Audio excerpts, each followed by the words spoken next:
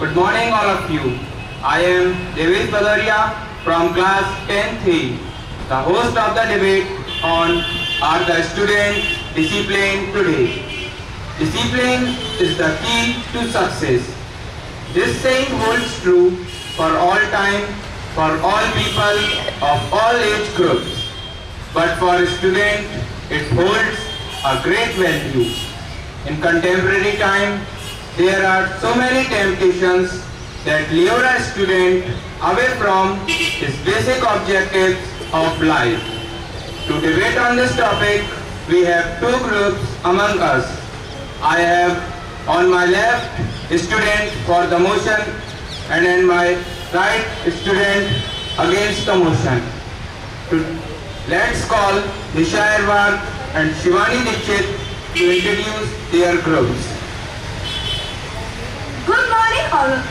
I'm Isha Anwar debating on Are the students disciplined today?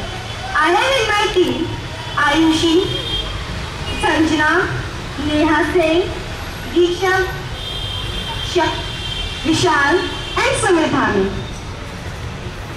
I am Shivani Dixit and in my team I have Muskan Sharma, Diksha Verma, Uttrangsha Sahai, Diksha Sharma, Megha Jain, Mansi Gaur and Vaibhav Jain.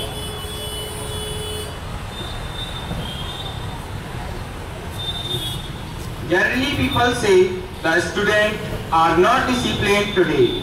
So let's begin this debate with the opposition who are saying we are disciplined. So what would you like to say about this? We are disciplined. How can you and anyone say that we are not? Yes, you are not. You don't have sense of wearing clothes. Look at your tie. It loosened. Is it a symbol of discipline? And look at your haircut. They are looking so untidy.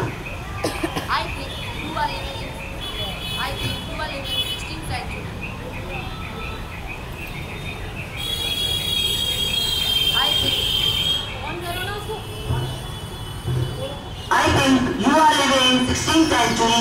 That's why you don't know what it is. It's fashion trend. That's we follow. And we look funky and trendy due to this style. And you have chipku hair. Yes, we have. But our hair are safe. But you people always use gel and many things, which results in hair fall, dandruff in your coming life. Now you feel proud when style your hair. But after some time, you will be bald. What will you do then?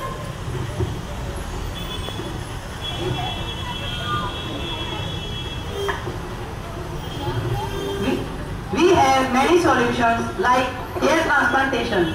Don't worry about us. We are disciplined. Is your mobile phone the symbol of discipline? You people use mobile in the classroom when teachers are teaching. Sometime in ground, sometime in washroom. Is this discipline? Yes, it is. We carry mobile with reason. Through mobile, our parents can contact us anytime. But they are distracting. Teachers also don't like texting in the class when they are teaching us important things. You will move on to Facebook, which is not useful for us. Youth will be distracted by mobile phones and flash from other taking photos with their mobile. It can create mashup for your education.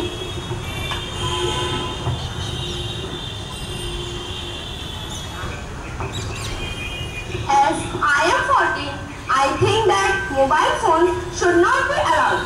If I consistently receive text messages, I find school difficult.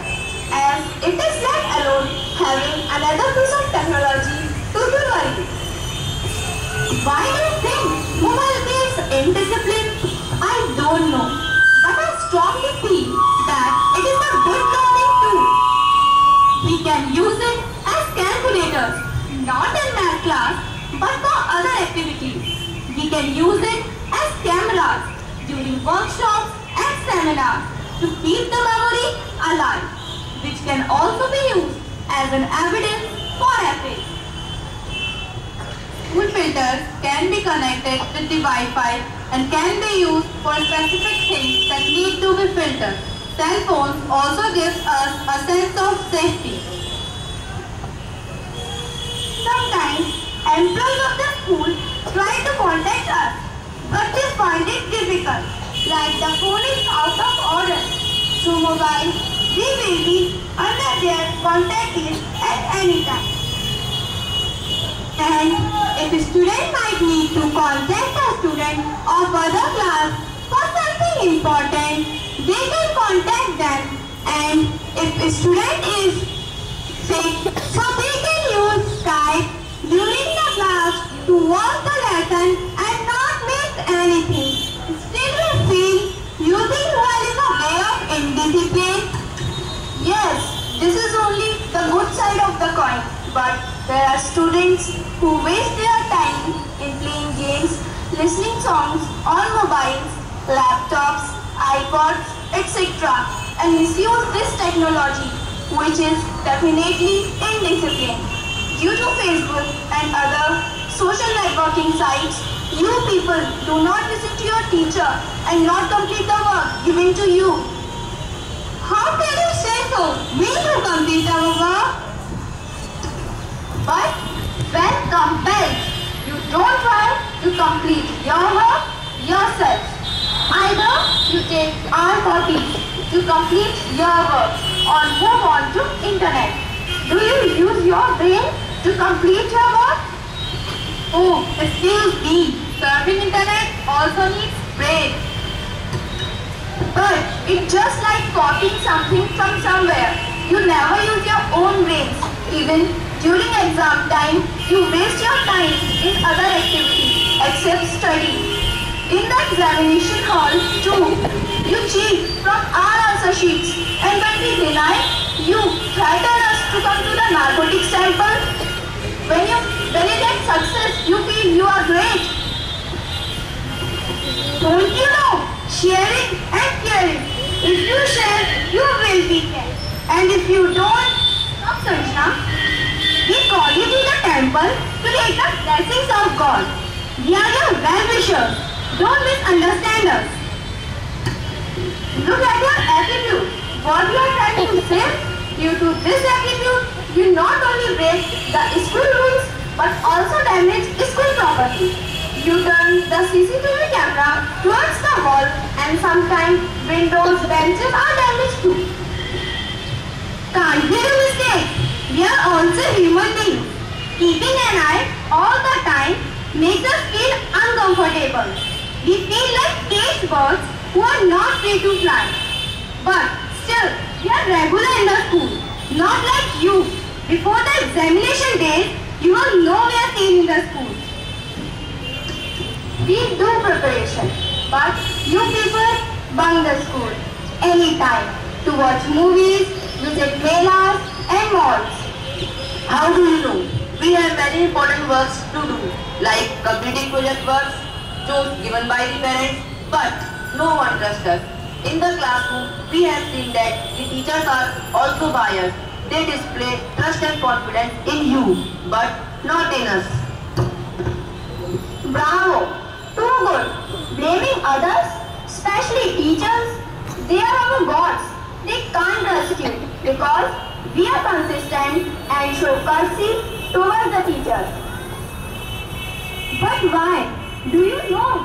How do we feel when teachers don't trust us? Your mistake is mistake and our mistake is a crime. Why this difference? I don't know. It creates a feeling of jealousy and revenge. Is all because of your indisciplined attitude towards the teacher. You make fun of teacher's instruction and disturb the class. You also create a negative atmosphere not only in the classroom but also in the school environment. If you change little, then there is no one who can blame you for anything. Teachers never give us responsibility. Even if we ask them for that too. They neglect us. By the time we are deserted due to this attitude.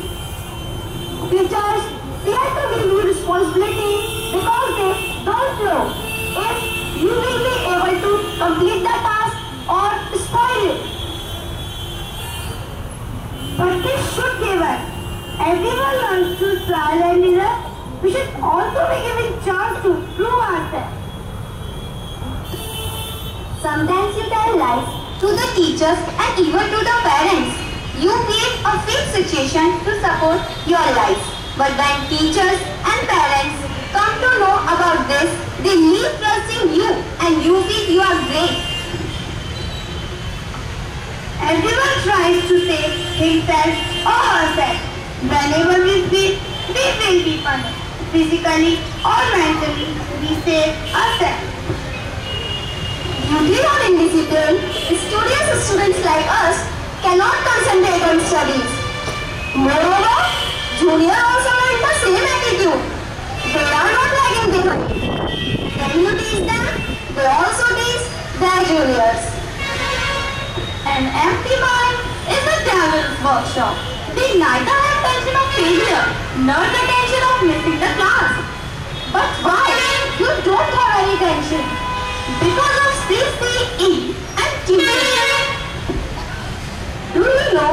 CCE pattern has changed? Now it is compulsory for each student to get 25% in each essay. Due to CCE, we are able to attend so many workshops, seminars and other activities and we learn many things. And what about tuitions? And do you really think that you are disciplined? In reality, you show off discipline to gain respect and appreciation. Don't try to make us fool. We know what you are. They also know. Oh, stop, stop, stop.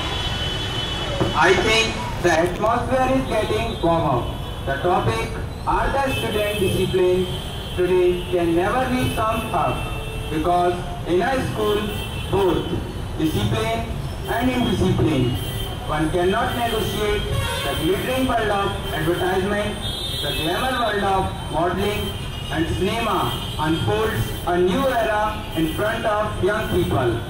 It is good to change. I am certainly not against changing. But a million dollar question is how to change, when to change, and above all, why do we need to change? These are the questions young minds should put themselves before they blindly follow the latest trend because everything that glitters is certainly not gold. At the students level, where there is a cutthroat competition and time is extremely precious.